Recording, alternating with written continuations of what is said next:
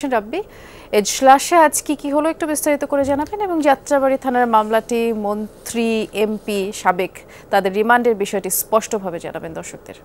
নুসরাত, বৃষ্টি, আপনি জানেন যে ছাত্র আন্দোলনে সবচেয়ে বেশি হতাহতের ঘটনা ঘটেছে কিন্তু এই যাত্রাবাড়ি এলাকায় এবং সে কারণে কিন্তু এই পাঁচ আগস্টের পরে এই যাত্রাবাড়ি থানায় প্রায় বেশ কয়েকটি মামলা হয়েছে এবং সবগুলো মামলায় কিন্তু ধারাবাহিকভাবে আসামিও কিন্তু এক।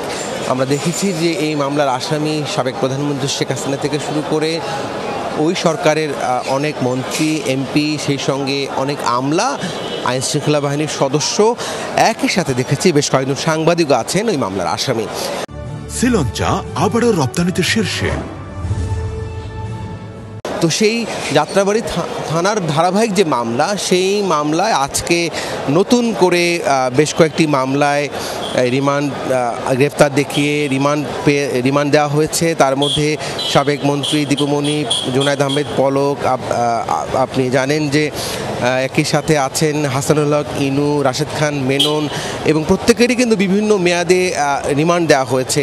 যাত্রাবাড়ি থানারই তিনটি মামলায় তিনটি হত্যা মামলায় দীপুমণি পলক একটিতে সাত দিনের রিমান্ড পেয়েছেন। আরেকটি মামলায় তা দ্বারা পাঁচ দিনের রিমান্ড মঞ্জুর হয়েছে। এ একই সাথে যাত্রাবাড়ি থানার হত্যা মামলায় সাবেক আইজিপি আবদুল্লাহ আল মামুন মামুন তাকেও কিন্তু রিমান্ড নেওয়া হয়েছে, নতুন করে নতুন করে রিমান্ড নেওয়া হয়েছে।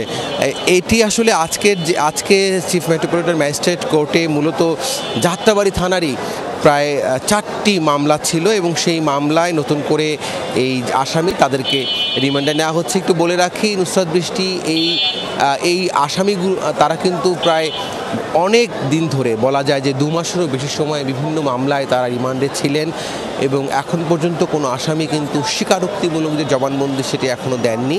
তো তাদের সম্পৃক্ততা, তারা কীভাবে হত্যার হুকুমদাতা বা নির্দেশদাতা সেই বিষয়গুলো তদন্ত চলছে এবং তদন্তকারী কর্মকর্তা তারা কিন্তু আশা করছেন খুব শীঘ্রই এই হত্যার ঘটনায়, মামলার ঘটনায় স্বীকারোক্তিমূলক জবানবন্দি দিবেন।